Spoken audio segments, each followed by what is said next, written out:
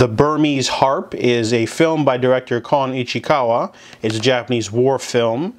Uh, now I've, I've watched uh, Fires on the Plain and a few others now, so I'm getting more into this director's work. But this one is about Mizushima.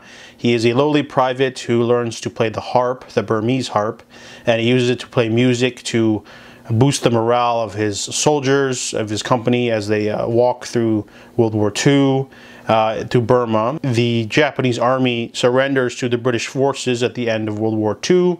So this is a different kind of film than a war film. It's not like Fires of the Plain in the sense that it's about like the hell of war. This one is more about like the aftermath of war and the effects it has on the populace and the soldiers and the people involved. So after Mizushima's uh, company surrenders to the British, they're sort of kept as prisoners of war, and it's sort of like a transient state where they're not sure what's going to happen. They, they could be killed at any time.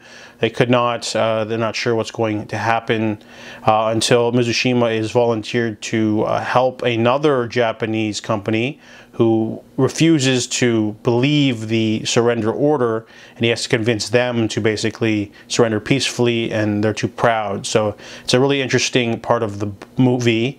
Uh, and then afterwards, uh, Mizushima uh, disguises himself as a Burmese monk. So it's dealing with like the, the aftermath of the war is pretty rough on him. It's gorgeously shot.